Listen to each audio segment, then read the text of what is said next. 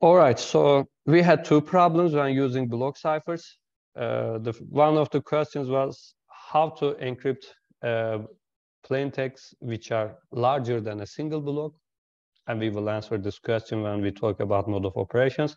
But the second question was what we should do when uh, the plain text is not a multiple of the block size. So if your block size is, for instance, 64 bits, what happens when you want to encrypt like 10 bits?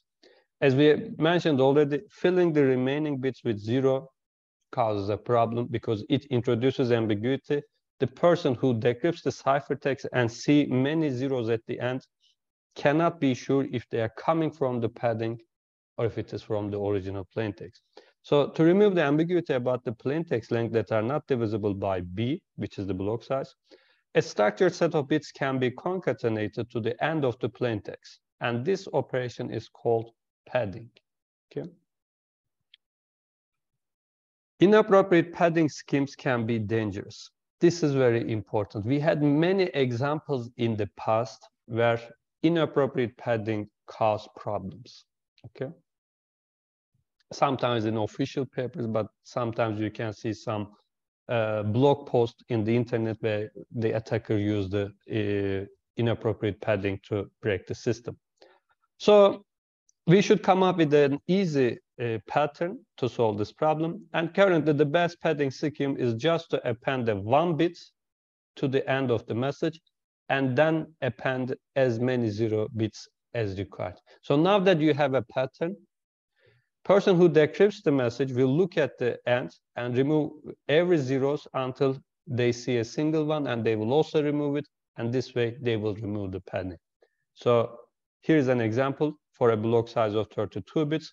For instance, this is the hexadecimal value you want to encrypt, okay? So it is three bytes. So the last byte is missing. So after the padding, you just add a single one and seven zeros to fill the single byte. So in hexadecimal, this corresponds to 80. So this way, you fill the remaining parts. And the person who decrypts this uh, block and obtains this value will remove every zero at the end until they see a single one, and they will also remove it, so they will obtain the plain text. So we remove the ambiguity by uh, appending a single one bit before the zeros. Okay, so you can actually uh, choose a different pattern as long as you know what it is, and the person who is going to decrypt knows that is what it is, then it works.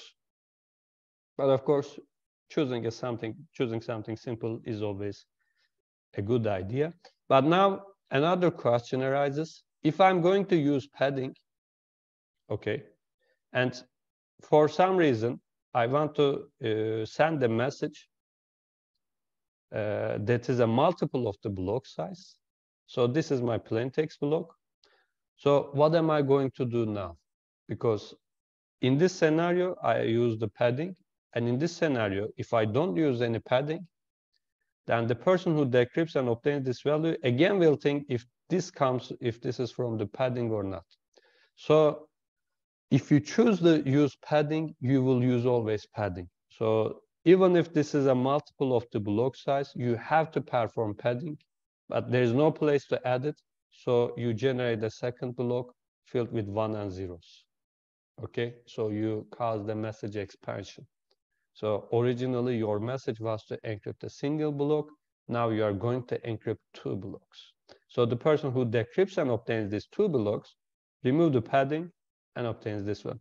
So when we're uh, communicating with huge amounts of data, uh, having a message expansion is not that much of a problem, right? Because, for instance, if you are going to send 1,000 blocks, encrypting and sending 1,001 blocks actually doesn't cause sig uh, significant performance loss or bandwidth, right? So in general, this is not a problem. But if you are always sending many uh, small amount of blocks, like one or two blocks, then this message expansion might be a problem for you. And also, we will talk about it uh, in mode of operations.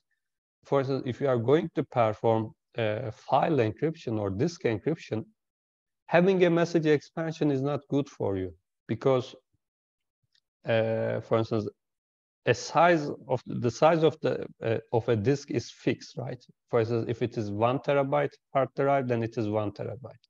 So if you fill whole hard drive and then encrypt files and cause message expansion, then you don't have an extra place to write these blocks, right? So in full disk encryptions or uh, generally in file encryption, we choose a mode of operation where you where this kind of padding is not applied, so you don't cause message expansion. Okay. So if message expansion will be a problem for you, then you should choose a mode of operation where you don't need it. Okay. For instance, in some scenarios in internet communication or so on, sometimes the depending on the protocol, the message size is already uh, written in front of the packet in terms of bits, right? So in that scenario, you don't have to use padding anyway. Or even if you do, you will understand the original message. So it depends on the scenario, okay? So you have to be careful.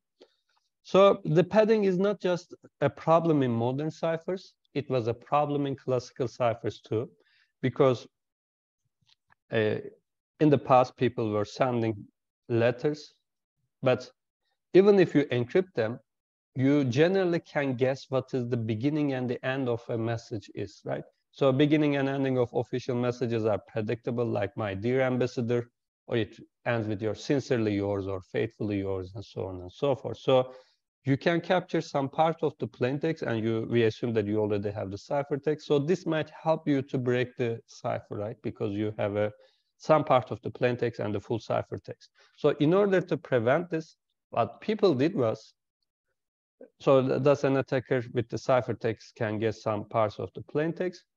So to avoid this problem, random words or letters can be added to the beginning and at the end. This is actually what people did, okay? So once you have a plain text as a letter, you just add redundant sentences to the beginning and at the end, then encrypt it like that and send it. For instance, if it is a telegram, the uh, soldier at the in front of the telegram decrypts the message and looks for this uh,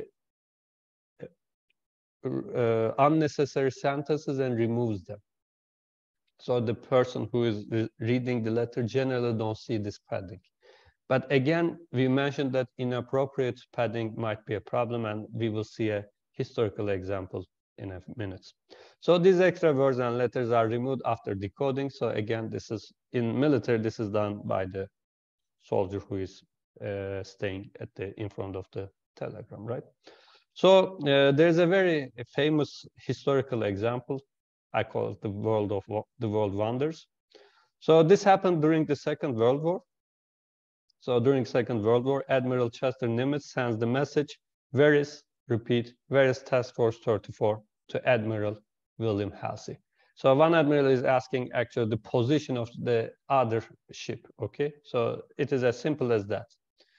But the radio office thought that the padding at the end actually belonged to the message and he decrypted as where is, repeat, where is task force 34, the world wonders, okay?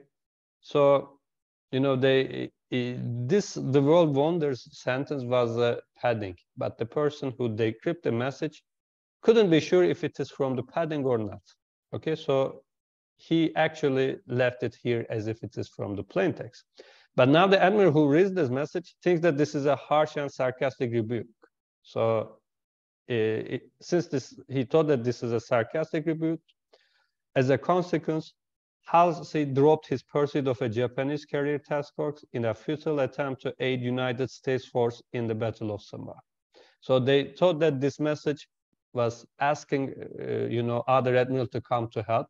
So instead of, you know, destroying Japanese carrier task force, this ship went back to other admiral, and the other admiral, uh, you know, Chester Nimitz was surprised and saying that I was just interested in the position. I didn't ask you to come here. Okay. So this kind of a small mistake, you know, can affect the uh, course of history. So this happened in Battle of Samar between, you know, United States and Japan in Second World War. So uh, let's uh, conclude this discussion of padding by introducing a different technique where you don't have to cause a message expansion. Okay. and this is called ciphertext stealing. And the name is sometimes misleading. People think that this is related to cryptanalysis or something, but it is not, okay? This is a very simple technique where you don't want to, you know, uh, increase the size of your message. A general method that allows encrypting messages that are not a multiple of B is called ciphertext stealing. It uses the last two message blocks, hence does not work on shorter messages. This is important. So you cannot use ciphertext stealing on a single block, okay? You have to have at least two blocks. So because you are going to use it on the last two blocks. It does not use padding. This is the good thing. So it does not cause message expansion. So let me try to explain it with a picture.